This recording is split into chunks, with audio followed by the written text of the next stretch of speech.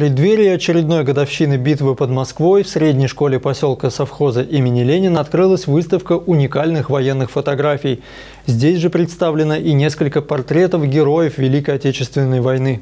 Экспозиция, насчитывающая несколько десятков фотографий и картин, была подготовлена при участии Музея обороны Москвы и Всероссийской общественной организации ветеранов «Боевое братство».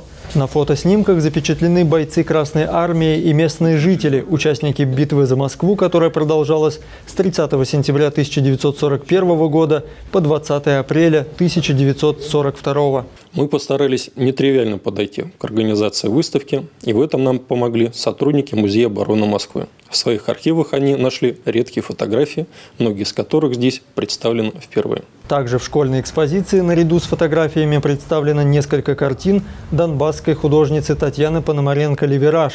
Это портреты героев Великой Отечественной войны. Они входят в цикл работ, который носит название «Имена Победы».